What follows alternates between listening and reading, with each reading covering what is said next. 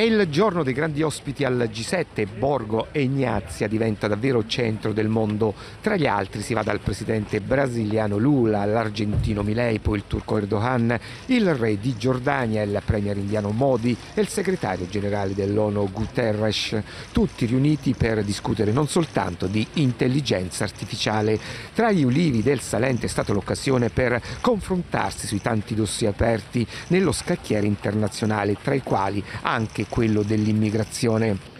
È proprio la Puglia, terra del sud, ricorda Meloni, è nello stesso tempo ponte tra l'Oriente e l'Occidente, tra l'Africa e l'Europa, motivo per cui è stata scelta come sede del G7 e si è tornati a discutere anche delle crisi in corso dal Medio Oriente all'Ucraina, temi affrontati nel bilaterale tra la Premier Meloni e il Presidente degli Stati Uniti Biden, ribadito il sostegno a Kiev per 50 miliardi frutto del congelamento degli asset russi, ma sullo sfondo anche l'ipotesi di un ingresso dell'Ucraina nella Nato.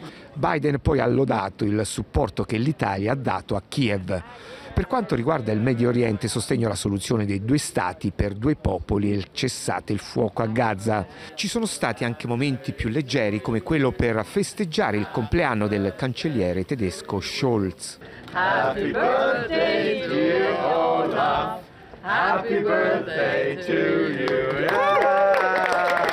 Si lavora ora alla bozza finale, il Presidente degli Stati Uniti dovrebbe lasciare stasera il summit che si concluderà con un concerto di Bocelli e una cena informale.